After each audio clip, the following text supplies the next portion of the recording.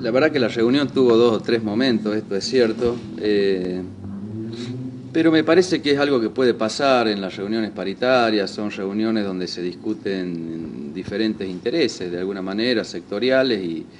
es natural que haya a veces diferencias importantes. Por suerte hemos logrado encaminar eh, la reunión en un clima y en un tono que permita avanzar en, la propuesta que se ha llevado a cabo sobre el incremento del salario docente. Efectivamente, en un primer momento, eh, eh, en esta primera, es la, primera reunión en que está presente ADUCA, y eso sumado a una nota que presentó UDA, la Unión Docentes Argentinos, donde de alguna manera impugna la presencia del resto de los, de los gremios porque eh, hace la disquisición, digamos, entre los que tienen eh, personería gremial y los que tienen inscripción gremial. Eh, y la única que tiene personería gremial justamente es UDA y el resto tiene inscripción y en la nota plantea que no deberían estar, con lo cual, bueno, hay toda una historia ya de, paritarias y de acuerdos y de inclusive presentaciones judiciales que han realizado ellos de manera conjunta, por lo cual llama la atención que a esta altura, digamos, del partido, eh, UDA desconozca eh, la legitimidad y legalidad del resto de sus compañeros, podríamos decir, este, gremial. Eso fue en un primer momento, a lo que se sumó la presencia de ADUCA, pasamos a un cuarto intermedio, eh, llegó el contador eh, Luna que estaba terminando de imprimir las simulaciones que se van haciendo para estas propuestas y pasamos a la segunda parte de la reunión que la verdad que fue bastante importante y en un clima de, mucha cordialidad entre todos. ¿no? Em, la, propuesta es, eh, también tiene, quiero aclarar esto, esta propuesta fue hecha antes de tomar conocimiento de la propuesta que estaba haciendo al mismo, al mismo tiempo el Ministerio de Educación de la Nación, con lo cual nosotros vamos ahora a complementar lo que hemos, lo que hemos expuesto en esta reunión con lo que Nación está planteando. En principio, eh, la propuesta incluye, bueno, ya algo se comentó, me he sabido que ya se incrementa el mínimo paritario de 5.200 a 6.000 pesos, se eleva en 1.500 pesos el, adicional eh, no remunerativo, 750 eh, pesos en febrero y 750 pesos en septiembre. Eh, se incrementa el punto índice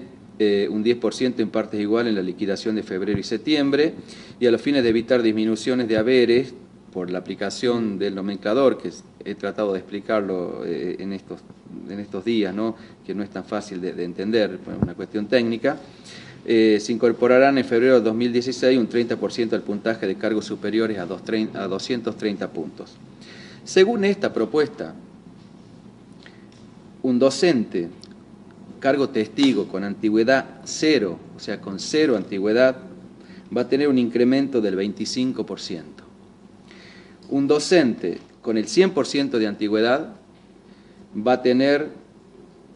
un 42% de incremento y un docente con 20 años de antigüedad va a tener un 52% de, eh, de, incremento. Eh, es interesante la propuesta, no solamente porque es eh, bastante abarcativa, acá tengo la cuestión de las antigüedades, la antigüedad del 100% corresponde, perdón, a 20 años y con 50% de antigüedad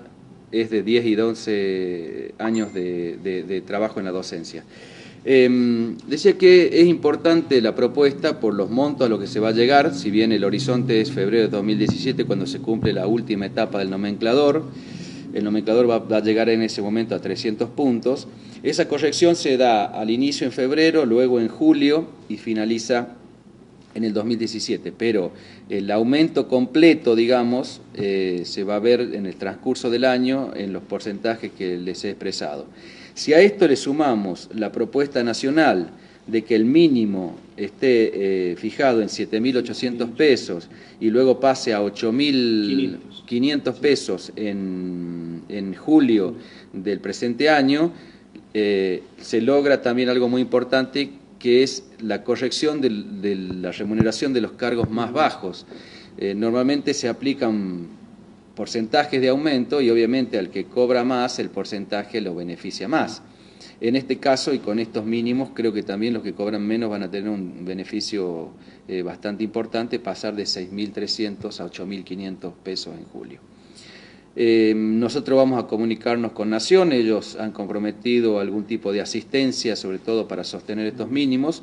y hemos quedado en reunirnos el día viernes a las 18.30 horas para tratar de eh, completar de alguna manera este, la propuesta con esta propuesta nacional, es integrarla y también despejar algunas otras cuestiones que han sido planteadas y que las tenemos en agenda, que han sido planteadas en la, en la, en la, reunión que hemos tenido, y que, pero que son cuestiones creo que no vamos a tener ningún problema de, de, resolver. Teniendo en cuenta que falta muy poquito ya para el inicio del ciclo lectivo, ¿sería lo ideal que lleguen a un acuerdo en esta semana o a más tardar la siguiente para iniciar en forma normal con el periodo?